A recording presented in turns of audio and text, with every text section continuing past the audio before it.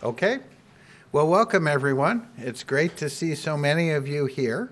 I'm Bill Sanders, professor of Department of Electrical, uh, Department of Electrical and Computer Engineering, and some of you may know me as the uh, the past PI of the TCIP-G uh, project. Uh, it's really my honor to be able to introduce David Nicol today. Uh, uh, and he will be kicking off our new seminar series, which is the CREDC uh, seminar series. I'm going to keep you in the dark, although many of you know what CREDC is all about because that's what David's going to talk about today. Um, it's my particular honor to be able to do this um, because of David's uh, leadership in this new effort and I guess an appropriate uh, handing off of the baton uh, from uh, me to, to him uh, in the lead leadership of, of these kinds of things. Um, let me tell you a little bit about uh, David. David is also a professor of electrical and computer engineering. He's the director of the Information uh, Trust Institute. That's our large center here at Illinois that looks broadly at issues of cybersecurity, dependability, safety, and other aspects related to trust. He's the Franklin W. Woeltge Professor of Electrical and Computer Engineering here at the University of Illinois. And in addition to being the PI of the new CREDC project, which he's going to tell you about, he's also the PI of the DHS funded Critical Infrastructure Resilience Institute. Um, before he came here uh, to Illinois, and he's been with us quite a while now, he was professor and department head of computer science at um, Dartmouth College and uh, he also was a faculty member at the College of William and Mary. I could go on with all of his accomplishments. You can read them in the bio, um, but I think I'll let David come on because we've got uh, exciting things to tell you about the new project.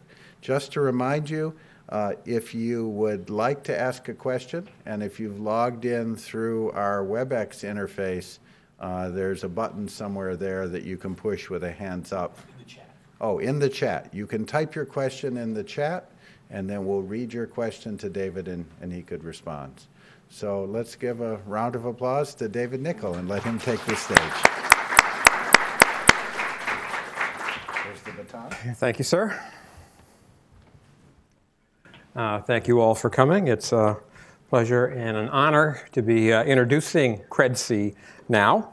Um, so I'd like to drill down a little bit on the title and the objective of the center. Well, with reference to past history. So, as many of you know, we've been in the business of looking at cybersecurity issues in the power grid for rather a long time, starting with TCIP and then TCIP-G. Uh, this is, in some sense, phase three, but it is different, and it's different for um, a couple of reasons. One is that the emphasis of this center is on resilience. Now, I had some educational challenges in getting the communications people to move away from locks in the logo to something that wasn't just locks, because locks suggests security, and resilience um, has security as a component, but it's, it's more than that. Uh, resilience has to do some with being able to withstand the either cyber attacks or cyber mistakes that happen. Um, it has to do with being able to deliver um, a uh, necessary minimal degree of performance in the midst of some kind of an event. It has to do with the ability to recover quickly from that. It has to do with situational awareness so that you know what's happening. Part of the situa- situational awareness has to do with being able to do risk assessments. And that's part of your knowledge of the systems that you've got. So, the point that I wanted to make is that the center uh, is much more than just about security. Security will continue to play an important role, but not by any means the only role. Another important difference between this center and the past centers that we um, have been involved in is that this has to do with energy delivery, not just power, but energy delivery. When the biggest other component of energy delivery would be oil and gas. but it could include you know, tanker trucks on the highway. And this was all by design of the sponsor, DOE, when they put out the call for proposals. It was to be about resilience and it was about to be uh, energy delivery. So as we go forward, keep in mind that it's not just security anymore. It's bigger than that. So if you want to have the elevator pitch, what's the elevator pitch for CRED-C? And that is what we're about is to identify and perform the cutting edge research and development, and here the emphasis, whose results are actually used, and this is a theme to which we will return again and again and again, to increase cyber resilience of energy delivery systems. So the emphasis here should be on cutting edge, that's why it's at a university. But also, results are actually used, which is why uh, the sponsor is particularly keen on seeing uh, results come out of this and be placed into practice. There are a number of objectives along the way to help sort of accomplish this goal. One of those is to do things that we haven't really done before, haven't emphasized before, and that's to understand energy delivery systems, cyber resilience, uh, investment from the point of the highest level decision makers. Because if you're going to have the stuff be actually used, you have to convince the people who actually have money to invest in the things that they actually get used. And so you have to understand their view of this, and you have to be able to communicate to them in ways that they understand and that they see the value in doing it. And actually, you have to create the value for the C suite to invest in this sort of thing. So, this is a non trivial problem uh, and is one that we take on directly. Part of what it is that we need to do is to survey the landscape, stay on top of what's happening, to identify the gaps and the impediments in the technologies and the policies and decision making to that keep us from achieving higher resilience of energy delivery systems and among that very large space, and I'm sure it's a very large space, prioritize on those things that we can do that are going to have highest impact while being adoptable. As academics, we are uh, absolutely skilled, practiced, and superb at solving amazingly hard, complex problems um, that look great in the leading journals but the gap between that and practice is large. Now, that's something that we as academics need to do. That is something that, as academics, we will continue to do.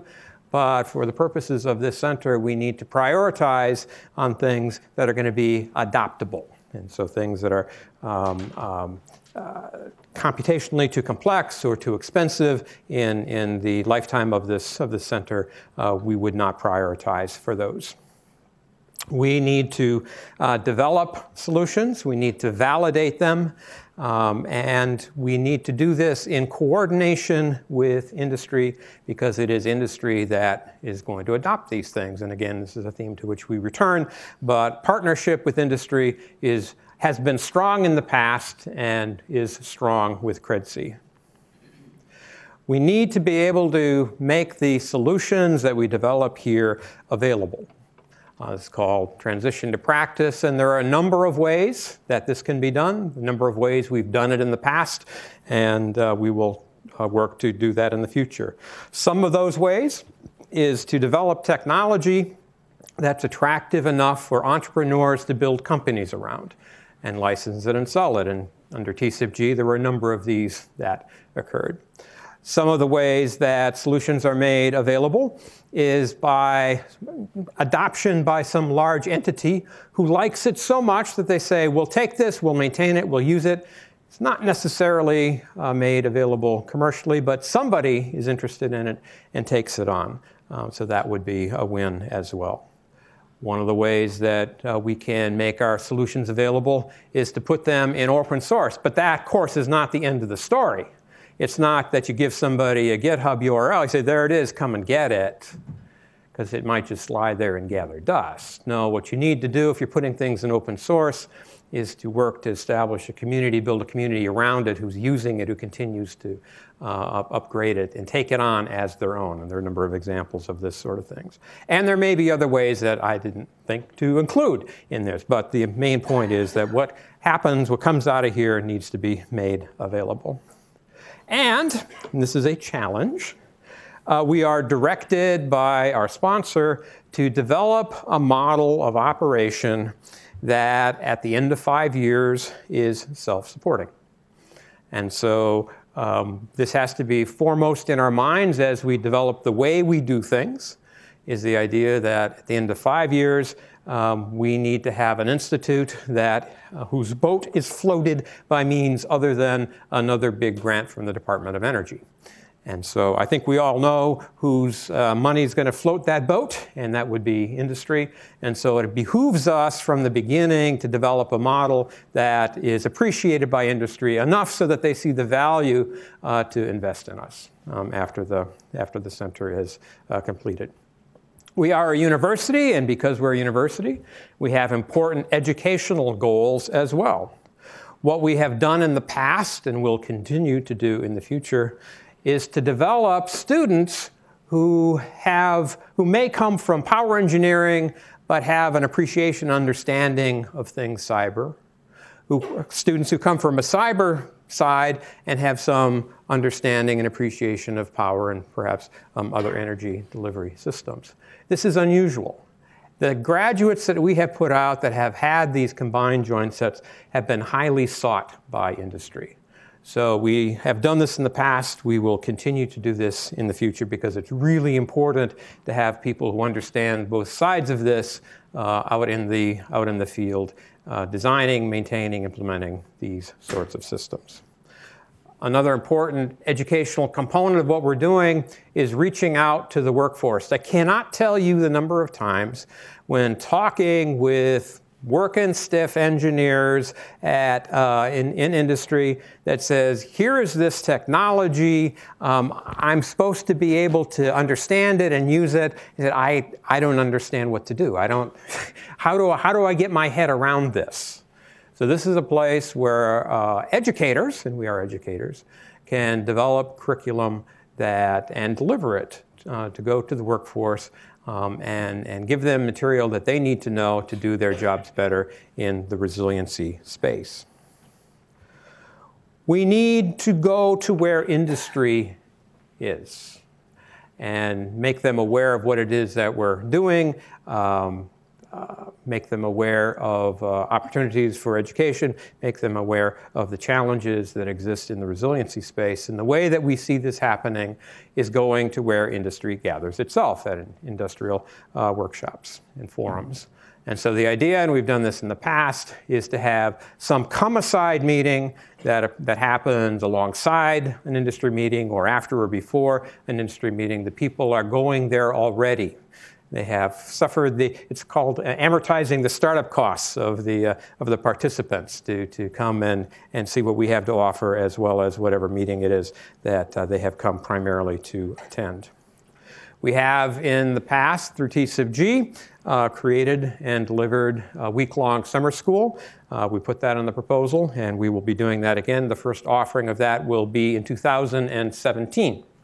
So can't say that you put that on your calendars yet, but you can have a placeholder that summer school will happen in 2017 once again.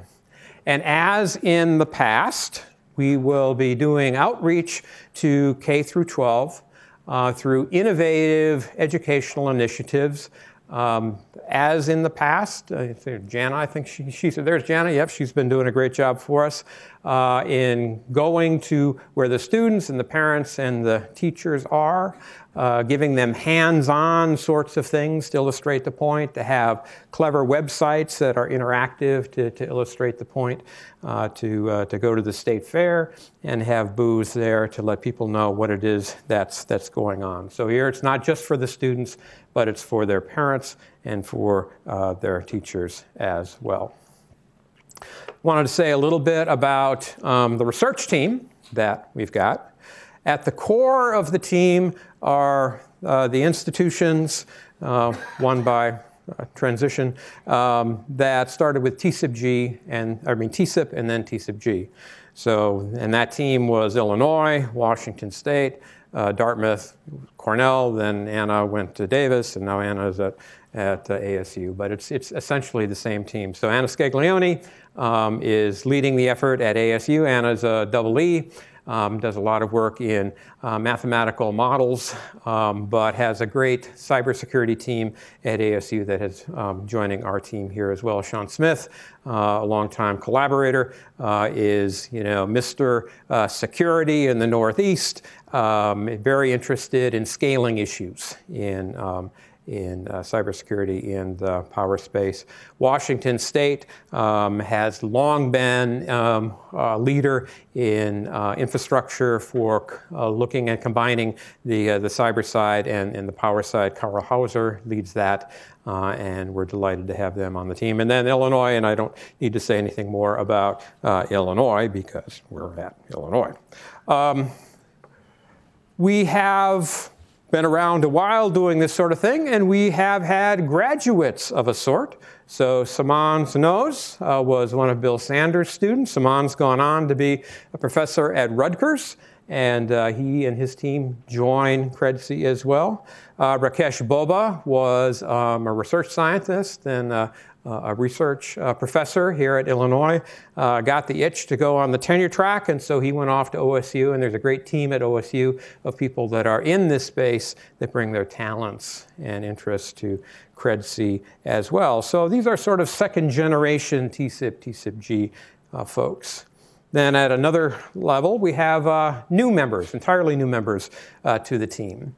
Uh, Art Conklin, um, who's from the University of Houston, is the person that we could uh, identify uh, working the cybersecurity angle in oil and gas. So as we reached out to oil and gas, we asked ourselves, who's the go-to person in academics who's doing that? And Art was the go-to person in that, so we're delighted to have him and his team as well. Um, I could tell you stories about the partnership with, with MIT. Uh, what I find interesting about it is as we thought about who we should approach another top tier university to join the team and settled in on MIT, we sent an invitation to them, which crossed the wires with an inquiry from MIT to us about partnering. How about that? So uh, Stuart Madnick um, is the leader of that team. Um, MIT is bringing two really strong, interesting, different components to this. Uh, one of those is Stuart has an affiliation with the Sloan School of Business. And so this whole notion of being able to speak to the C-suite is, is something that they've been doing for a while and bring to this team as well. And then there's the classical um, world-class um, uh, technology stuff that MIT brings to the table, networks and networks uh, modeling, um, resiliency, and the whole nine yards. So we're delighted to have them on the team. Uh, we also have Sachin Shetty from Tennessee State University. Sachin is a cybersecurity guy with his team that's involved in uh, resilient control systems been working with Sachin for some years. He sends uh, one of his graduate students to work with me every summer. Uh, so delighted to have Sachin and his students on the team as well. And then finally, to round it out, we have a couple of national labs. Um, Pacific Northwest National Lab, the team's led by Paul Skare. Among the national labs, we understand PNNL to be the leader in, um, in power. And among national labs, we understand Argonne to be the leader in oil and gas and Shabbir uh, Shamsuddin uh, leads that as well. The role of the national labs in this is to bring, you know, their um, leading visions for this thing, their Rolodexes of context that they have, um, uh, greater outreach into the community, understanding of problems, some of which uh, we can't know about because they're classified, um, and to have a strong role in the validation and verification piece of the CREDC technology that we'll do. So that's, uh, that's the CREDC team, all 11 of us.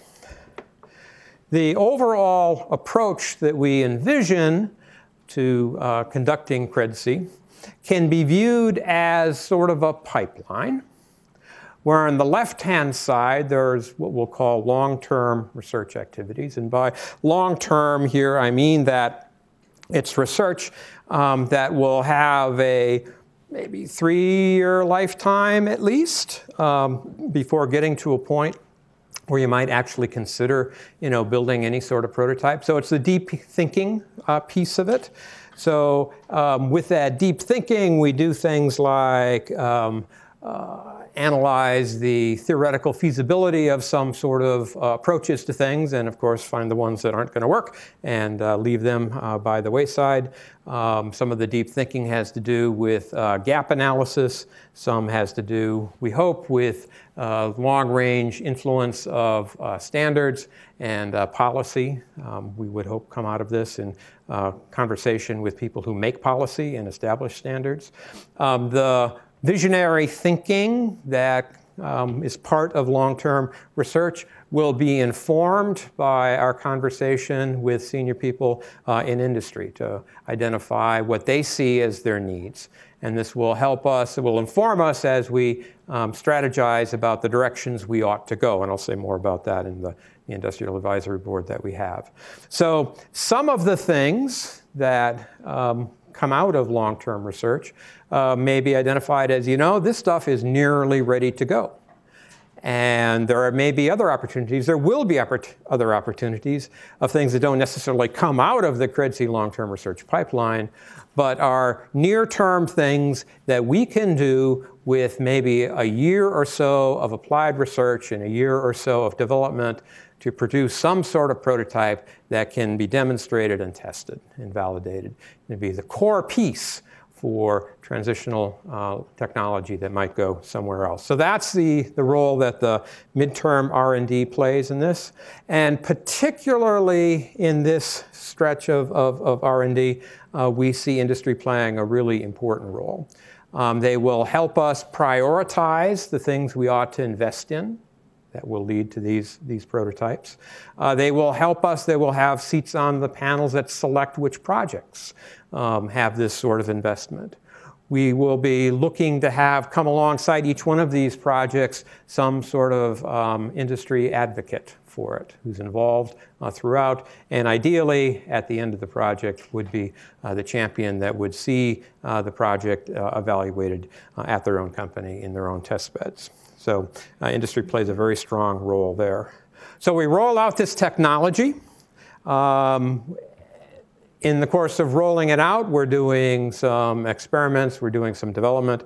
Um, all of that is done through our test beds and the verification and validation efforts. So the notion is that after we have uh, some technology, it's not just you know send out a mass email, come and get it, but it's to put it through its paces, to design uh, experiments, uh, to uh, approach it with some rigor to find out what it does well, identify what it doesn't do well or doesn't do at all, document all of that, and make that available so that when someone comes to say, say, I heard about such and such a tool, what can I learn about that? You can see this is who developed it, these are the tests that it went through, this is what came out of it, and uh, so people can make uh, decisions to adopt it or not that are more informed.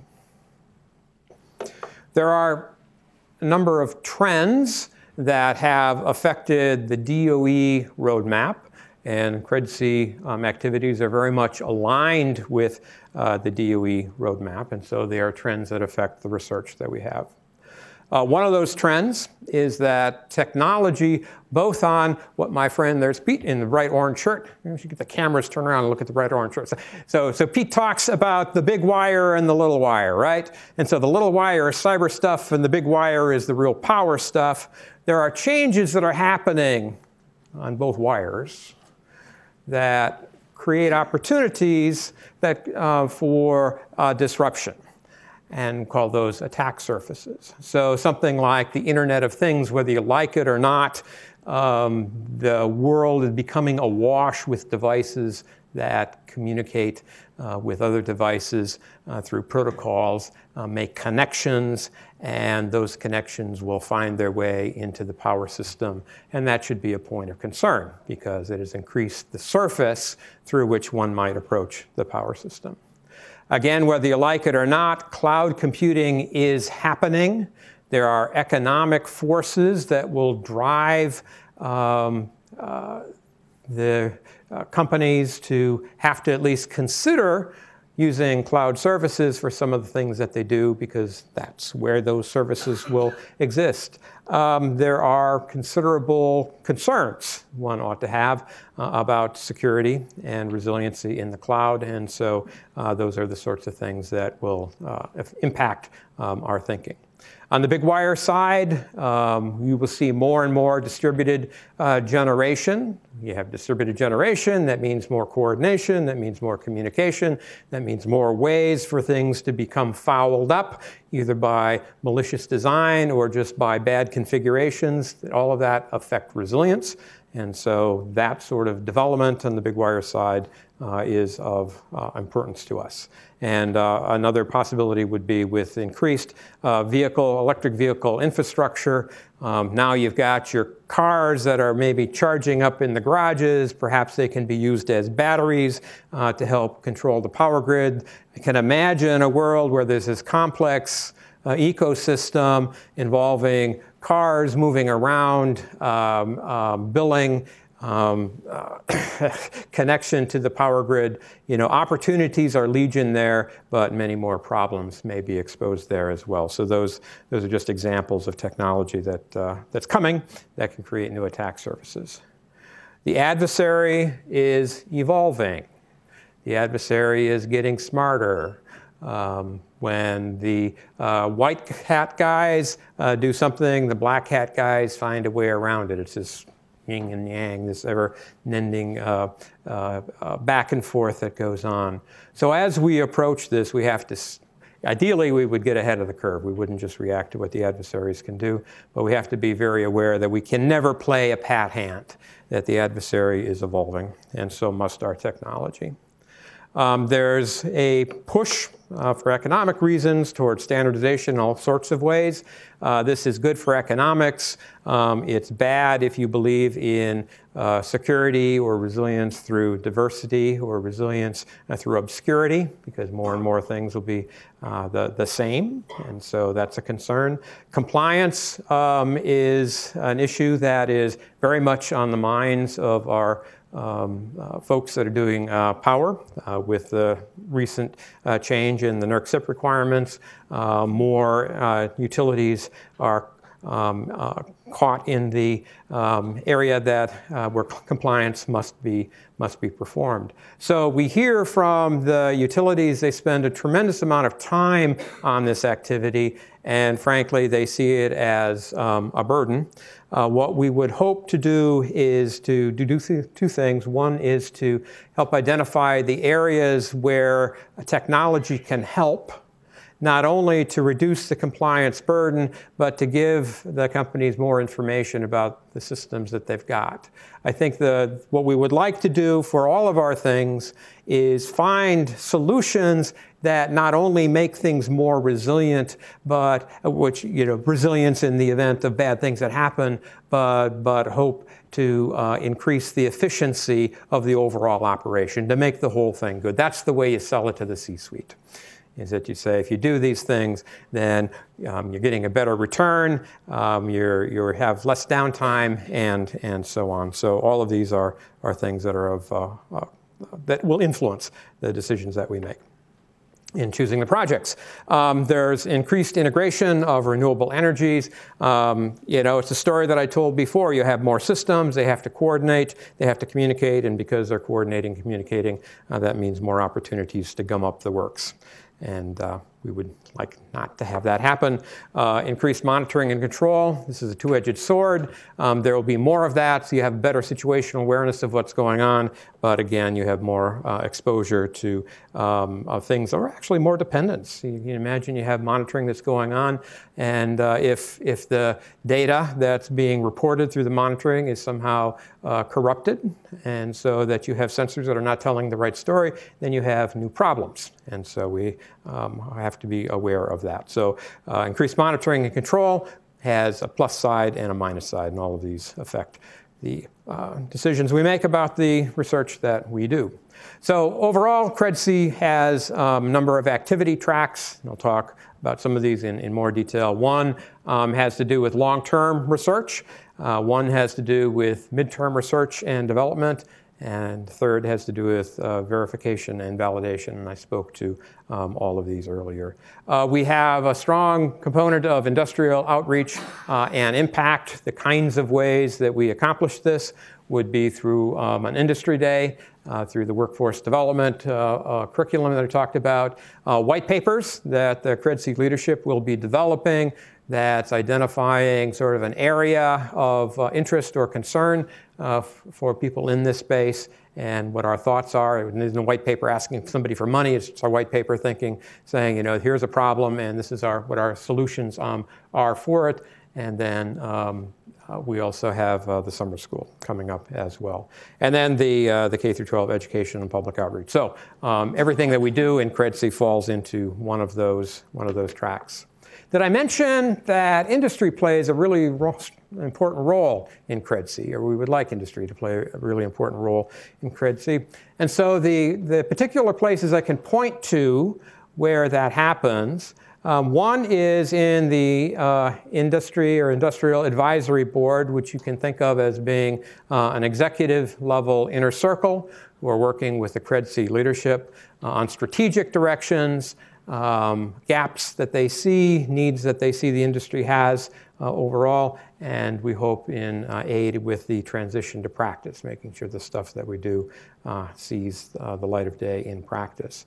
Uh, we have another layer of participation by industry. We call them the Industry Participation Board, um, and that would be people from industry who are involved in our projects. Uh, um, either giving advice to the uh, projects uh, themselves or giving advice to the uh, senior leadership. But basically, um, what we look for to have someone be uh, in the participation board is a willingness to spend some cycles with us and, and help us out.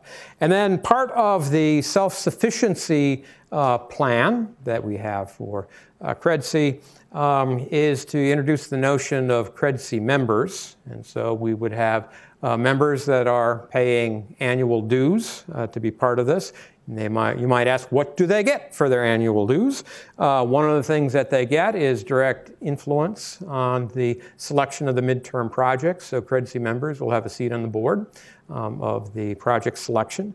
Uh, they'll have early access to uh, white papers that they will request us to write. And so um, you can imagine a, a, a topic popping up, and uh, the CREDC uh, folks would uh, put together a white paper that's directed to that uh, topic, and then it would be available to the members for some period of time, you know, some maybe half a year uh, before we go public on it. But you know, they asked for it, they paid for it in some sense, and so they get the first access to it. And we will um, make sure that they have access to our students uh, because everybody wants access to the students at the University of Illinois, and especially students that come out of uh, activities like TCIP-G and CREDC, and we want to make sure that the uh, dues-paying members have um, the best shot. That's and the other schools too. And the other schools too. Yes, thank you, Bill. No, it's true. So it's it's. Um, I, I, speak naturally from an Illinois-centric point of view, but this is not to denigrate the role of, of other um, others um, at, at all. In fact, and, and I will say it, so uh, we hope that this, this seminar series uh, will have manifestation not just here, but at some of these other schools as well when we have guest speakers. And so that'll be one of the visible means by which we uh, see this. And when we have industry days, um, we can have industry days. We will have industry days at locations other than Illinois as well. So you know, the other members are very much part of the part of the team here. Thank you for reminding me of that, Bill. So, the Industrial Advisory Board that's in place right now, uh, we have some new names and some familiar names. So, new names is Mark Browning, who's a senior guy um, at uh, Exelon. I'm delighted uh, to have him here. He's um, uh, has uh, connections to Illinois and has been involved with us for a couple of years in identifying uh, problem areas that uh, he needs help in or Exelon needs help in. So uh, we're just delighted when he joined the board. Uh, Dennis Gammel from Schweitzer. Dennis um, has you know another long-term um, partner with us and has been on the TCIP-G board, I believe. so delighted that, that Dennis joins us. He's head of R&D at, at Schweitzer. Uh, Richard Jackson, um, who until recently was a senior person at Chevron. I believe he's retired now, but he still has his Rolodex, he still has experience, he still has his insights.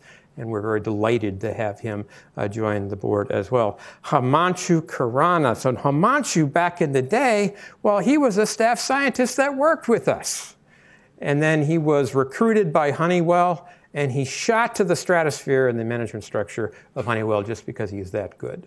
Uh, and so we're delighted to have him uh, continue to uh, uh, uh work with us uh, now in an advisory role. Blake Larson from Western Refinery. This is part of our growth into the oil and gas. Blake is no stranger to the DOE CEDS program. Um, even though he's new to our board. We've met him at CEDS program things, uh, and we're taken by the fact that, that he understood the, um, the cyber side issues uh, that we were looking at the power side, and he wanted to see that transferred to the oil and gas side, and so he's on the board to help have that happen. Scott Mix from NERC and Paul Myrda from EPRI and Dave Norton from FERC are friends that have been with us probably from the TCIP days.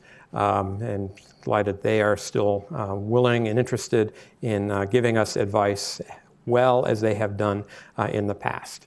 Uh, Kimmy Tam is someone that a number of us have worked with over the decades. Uh, Kimmy is uh, in the Cyber Defense Engineering and Science Directorate um, so brings a, a different perspective uh, uh, to the issues that we have, uh, one from one of the labs, but also from one of the labs that does a lot of work in this space, particularly in oil and gas. So we're delighted that uh, Kimmy joined us. And then Zach Tudor. Zach's just a lot of fun and a very, very smart guy. If there is a government activity that has the word cyber and infrastructure in it someplace, Zach is there.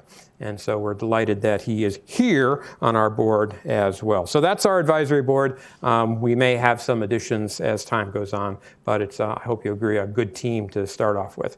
And we have already had our first meeting with them. Now, I'm not going to bore you. Well, maybe I will. Um, I'm, gonna, I'm not going to try to bore you with spending too much time on the overall management structure of CREDC, but I just, you know, when you go and you meet an industry, uh, you know, oftentimes what they'll do is they'll flash an org chart. And what they're trying to do is to tell you the way things happen in this organization. And what I'm going to do is I'm going to flash an org chart that sort of does that, but really to emphasize where we think there are important things, uh, that so much so that we um, put it in the infrastructure. So um, we have uh, project management uh, folks, which include myself as the PI, uh, the Illinois co-PIs, and all of the site leads. In addition to the uh, outstanding Illinois admin team you know about, which includes uh, Sherry, which includes Ted Yardley, which includes Al Valdes. They are full partners in the management and direction of this thing, and so they are there as well. Plus our industrial advisory board. These are busy, important people, so we don't want to uh, put too much of a burden on them, but we interact with them, uh, say quarterly, uh, through the telephone and, and expect and hope that they would uh, come to the industry day um, as well to face to face. So this is where uh, directional stuff comes from. Now at the where other things happen, not the direction, but the things that get directed. Uh, some of it is the research and, and, and outreach that happens, of course. Uh, we have industrial participation with that. The reason why I pull up these subcommittees is these are standing committees that we have defined for CREDC, and the reason why I put them here is to show you where we think there's activity that CREDC needs to be doing that is so important that these are the six things that we create committees to stay on top of. One of those is how do we select the activities that we're going to invest in? And how do we evaluate them? One of them is what are the gaps and what are the research opportunities? We can't just launch this thing and go on cruise control for five years. We need to be staying on top of what's happening, and so we um, have a group that's responsible for doing that.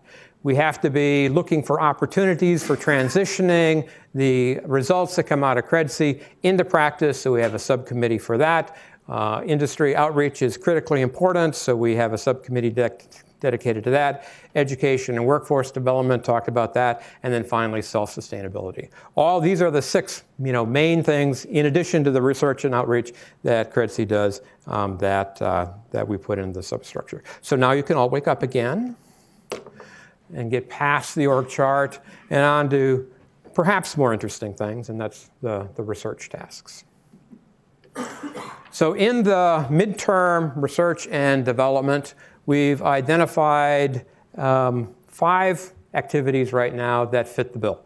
that we're looking at about a year of applied research, about a year of development, and then we'll have something that's ready for testing and evaluation.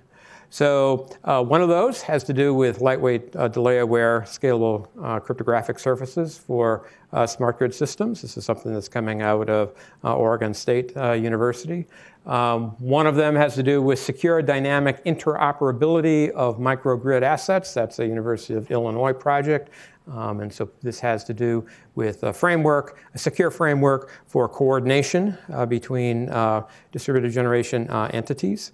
Uh, three of these uh, have to do with work that is really was launched under TCIPG and is ready to graduate to this next level of, of um, transition and impact. One of those has to do with um, uh, PMU data quality, analyzing the dependency that we have on the quality of the PMU data, and uh, what to do in case it becomes compromised or just bad. Uh, robust and secure GPS timing. Um, so uh, I think uh, the dependency that we have, or the fact that GPS could be corrupted, got lots of people's attention when a drone went down in Iran, uh, probably coaxed down by spoofing of, of GPS. It's a real problem since so much of the state information that's gathered in the grid um, is time-stamped off of GPS, then it's important that uh, we be able to deal with, understand that threat and deal with it. And so uh, there's um, near-term stuff that we can develop and deliver having to do with that. And then anomaly detection for securing communications in, in AMI. So AMI is everywhere, and um, so we need to be concerned about that as a vehicle for um, bad things uh, being introduced into the system. Oops, I just gotta, all right moving right along. So there are um, seven long-term research areas. There's a whole slew of activities and projects, and I will not numb you with all of that. What I'll do is I'll talk to each of these seven overall areas and understand that there are multiple activities involving multidisciplinary and multi-university teams uh, in each of those to just give you a sense of where the focal points of the long-term research uh, in CRED-C uh, is. So one of those areas is in uh, cyber protection. By this, we mean the, we need to protect the cyber infrastructure that's involved in energy delivery systems. We need to protect it from cyber attack. We need to protect it from fat thumbs of uh, operators, uh, misconfigurations, and so on. One of the ways that one can provide uh, that sort of protection is by cross validation. And so when you're looking at cyber information or cyber commands, you can cross-validate that with models and measurements of the physical system and ask the question, does this make sense in this context? And so uh, we have a number of activities that, that look at that sort of thing. Uh, cyber monitoring, metrics, and evaluation. Metrics are like a really big deal. Metrics in, in, security have been on hard problems lists for over a decade now, and they're still there because it's a hard problem um, and continues to be. Uh, but one hopes that, we hope that, we expect that with some focus in well defined engineered systems, we can find metrics that um, correlate with cyber events, in part because what you expect these systems to do um, is, is better known than in sort of the wild uh, west of, of enterprise systems. And so we have uh, reason to believe that uh, metrics and evaluation of those metrics um, will have traction in this particular space.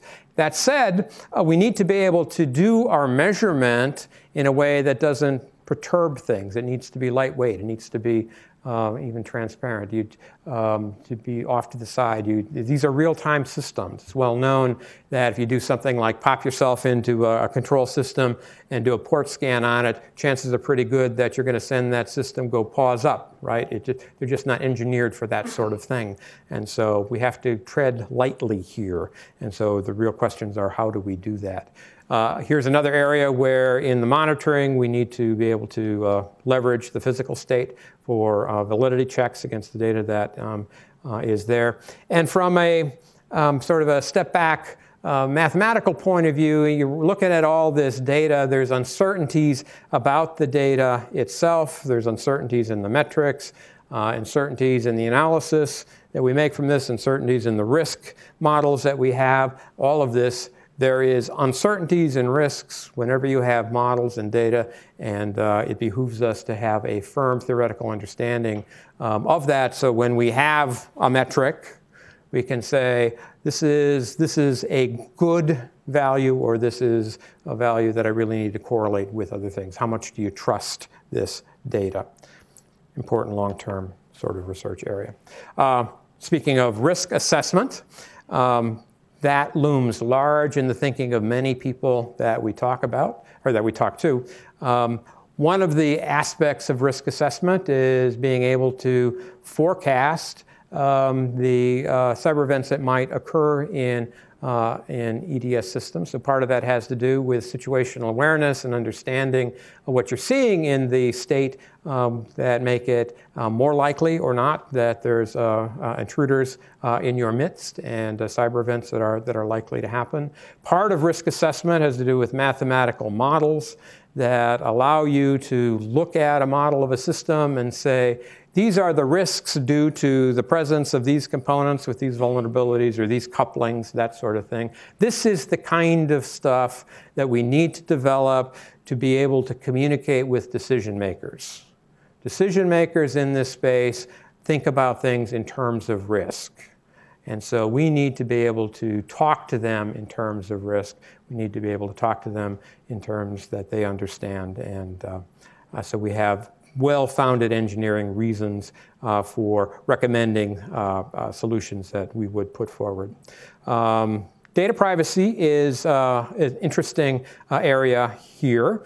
Uh, there is um, going to, there is now, and there'll be an ever increasing um, agglomeration of data that's gathered in EDS, some of which, uh, for a variety of reasons, may uh, need to be shared or is advantageous to, to be shared. But since the grid is operated by a bunch of independent, sometimes competing entities, then there are concerns about what can be learned from the data, uh, either from, from a security point of view of what can be learned that would identify vulnerabilities uh, in one of the entities that's reporting the data, um, from an economic competitive point of view, if you can make inferences from the data about uh, the way the other people are doing things that um, you, the the data providers would wish not to have provided uh, be inferred. Uh, there's some real foundational issues here uh, in, in data privacy in this, in this space, and so that's part of the, the risk assessment. What are the risks of, of sharing data?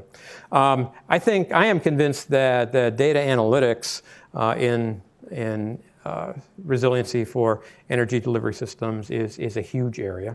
Um, going back to the story of if things are awash in data, we have all this data, the potential with the you know, emerging technologies in data analytics to analyze that data to be able to make conclusions, inferences about the presence of intruders, about uh, places where things might not be resilient, or um, in, the, in the event um, of an actual uh, uh, event, event of an event, um, that's, that's happening, watching the data to help one be able to respond quickly and appropriately to what's, what's going on. So analysis of data, um, I am convinced, is, is going to be a very significant component of what it is that we ought to be doing in this center.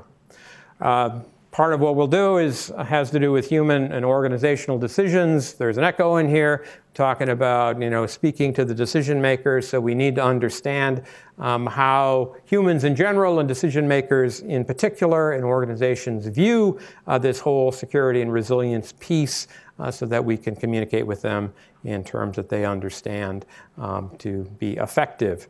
Uh, quite a bit of interest in the Center on Resilient um, uh, energy delivery systems, uh, architectures, and, and networks, doing things like looking at the potentials of using software defined networking to increase resilience, to uh, engineer uh, networks that have known provable properties, um, to have uh, the ability to craft networks that are able to respond, isolate in the event of, of attacks with known, uh, with known properties. Um, it's, a, it's a great technology that allows one to do some engineering, some fine engineering of, of network stuff um, that will allow us to improve resiliency of, of the networks that are in the EDS space in particular. And um, the impact of disruptive EDS technologies on, on EDS. And so to identify the gaps that um, impact resiliency uh, in anticipation of the coming technologies uh, which are likely to threaten it. So I think that is, oops, not, not up, one last thing. Um, and that's the, the validation and verification piece. Uh, so part of that um, has to do with providing access to um, our test bed to um, our research and development partners um, to allow them to design, execute, and analyze experiments without having physical access. Uh, part of that has to do with nailing down the understanding of when you can federate test beds and, and provide the technology for that uh, when it makes sense to do that. And then part of it has to do with actually designing and executing validation and verification um, uh, evaluations, which are you know, the last step in the, in the CRED-C technology development process. okay, so that's CRED-C. What's next? Industry Day. All right, so um, we had industry days with TCIP-G that were in the fall in the past. Uh, for timing reasons, uh, we will move to a springtime schedule with CRED-C. The first one is coming up on uh, March 28 through 29. Um, we have uh, been talking about um, the structure of this. Part of it will be that we'll have folks that'll get up and give uh, short um, position pieces, uh, maybe five minutes each, and we're soliciting proposals for that. We are working on designing breakout sessions, so we'll take our group of 200 or however many people show up and identify areas of interest where smaller groups can uh, get together and talk. What we are trying to accomplish by this is to really elicit from industry their view on the state of things right now. So this is a very industry come to us focused sort of event. So it's by invitation. Um, and so if you're an industry or not an academic, I guess is, is the way to read industry, uh, and would like to attend and haven't gotten an invite, then just contact us and we'll see that that is, uh, that is taken care of. So there are some deadlines there. Uh, you can contact us um, for uh, details on that. There's a URL there, or just uh, send an email uh, to, to Sherry um, or Al, and they, they can give you that information. And speaking of contact, why we are all about social media, aren't we? So there we are doing, oh, the web. I know about the web. Okay, so we got URLs. And then there's this bird thing. Um, and then there's the, you know, there's the F thing. I, I, sort of hesitate to say that, but in any case, there are other ways of, of, of, of communicating uh, with us, which I am told by um, communications people who do not look gray like me that this is the going thing. And so, you know, we're all about the going thing. And so, uh, communication uh, through all these ways. And so, with that, I see that I am uh, finished with the prepared presentation. Um, I guess we can take questions now, if there are any. I knew that I could count on Prosper to answer a question. And so it, I was awake at night saying, What is it that, because you always ask interesting questions, Prosper. So let's see. Thank you so much.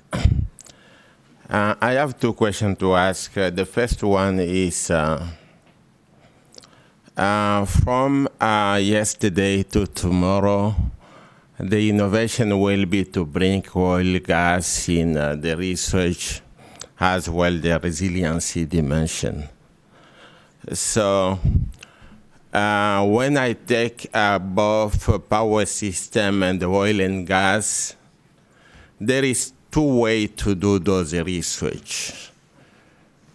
I hope that uh, the goal will be uh, to look for the intersection between uh, power system and oil and gas.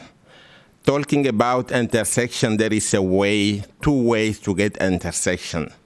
The first one is what is called parallel convergence, which is we move with power system, we move with oil and gas, we hope that at the end of the five years, we're going to get some intersection. The second one will be maybe in the year one, we define the point of intersection, and then we'll be working toward that target. So my question was, which one do you envision as a point of intersection? If the goal is to get that intersection as soon as possible and to lead research in such a way. Uh, my second question will be uh, talking about uh, the test bed. How do you see uh, the test bed contribute to that intersection? What I mean is we have the expertise of test bed maybe in Houston and the power system in Illinois. How do we come together? And uh, my last question uh, is. Oh, time's up. Sorry. my last question is about the adding point of microgrid as a research. So I wanted to know if you can share with us from the seven organizations in the new project where the lead is coming from about the microgrid research. Thank you. Okay, question the first. I was actually trying to keep track of this. Um, we have uh, written a deliverable in our first year to the Department of Energy to do an analysis looking for the commonalities and the gaps between resiliency in the power system and in oil and gas. So we will be looking for where those intersection pieces are so that we can say if I do if we do research here this has direct impact to both the power side and the oil and gas side. But these are different systems, and there will be different problems, and we'll identify what those are um, as well. In the near term, of course, the idea is to find the intersections. Longer term, then it's a matter of prioritizing um, the, the, the, things that are remaining. We cannot solve um, all of those. Uh, with respect to the test bed, there are test beds everywhere. And it, we will be using uh, the test bed here where it's appropriate. Uh, the researchers will be using test beds, if they're oil and gas test beds with our partners, uh, they'll be using those um, as appropriate as well.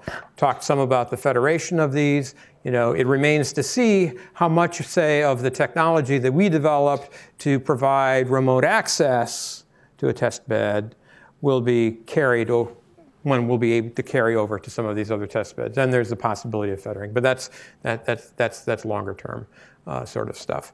Uh, with respect to the distributed generation, um, I would have you look to your left and look to your right, and I would say, there's the people that here at Illinois are working on distributed generation. Hello. If you flip back one slide to the workshop, so I goofed, I prepared that, and um, the hotel block is February 27th. It's on.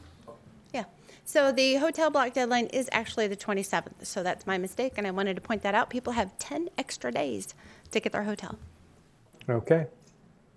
Okay, uh, just to expand a little bit on the answer to Prosper's question, one of the activities that we're doing is precisely uh, what we call uh, intersector mapping and gap analysis, which is looking for commonalities, differences, the, the intersection that Prosper was talking about between the various sec- sectors that we're looking at uh, we have a lot of uh, deep expertise in electric power at Illinois.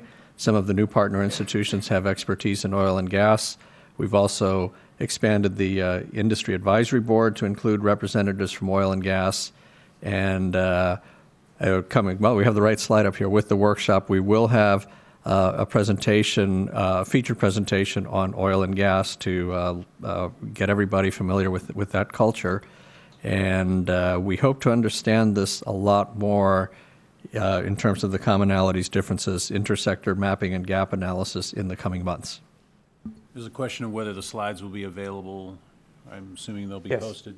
Yes. They'll be posted uh, along with the video. Um, And uh, does your center focus more on power delivery or gas delivery or? I, I would say um, we, we are including both, but um, the, I would say if you look at what we're doing, there will be more of a, a, power emphasis than an oil and gas emphasis, if only because that's where we're coming from. Uh, and and um, I think of the two, then there, there's more of one than the other. Yes, Deming. Oh, you need to you need to get this recorded for all prosperity so that people will always be able to appreciate the depth and insight of the question that okay. you ask. All right. So you mentioned the data analytics. Uh, that's uh, definitely important. Are there any other uh, topics uh, in the center that's related to high performance computing? Yes. that- yeah. So, very good. Um, when we develop models of systems, particularly for uh, risk assessment, then some of these models um, could be very engineering, math um, oriented models that could require supercomputing. So I, I wouldn't say that it, it, it stands out in the way that I think data analytics does, but uh, there is certainly a role for, um, for high performance uh, computing here. All right, so um, they're telling me to cut, so um, thanks very much, and uh, come back for the next seminar.